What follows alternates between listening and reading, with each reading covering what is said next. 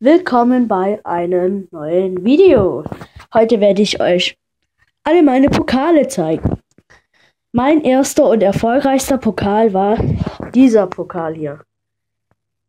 Das war ein E erster Platz der Junioren Heimturnier in Blochingen. Da wurde ich mit meiner Mannschaft erster. Das persönliche Turnier war mein das, das war mein bestes persönliches Turnier. Wir fangen weiter mit diesem das ist nur ein Plastikpokal, aber es ist ein Handballpokal, nicht ein Fußball. Wie ihr hier auch an dieser Figur sehen könnt. Er, es wurde in Dusslingen ausgetragen und da war ich noch ein Minispieltagkind. Das hier, den Pokal habe ich gewonnen. Und das ist eigentlich ein ganz normaler Pokal.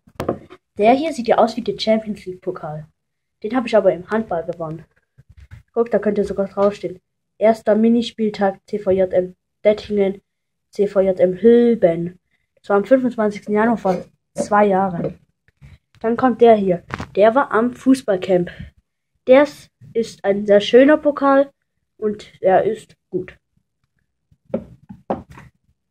Das ist genau der gleiche Pokal wie der erste, nur dass der ein Jahr früher war und da wurde schon zweiter Platz.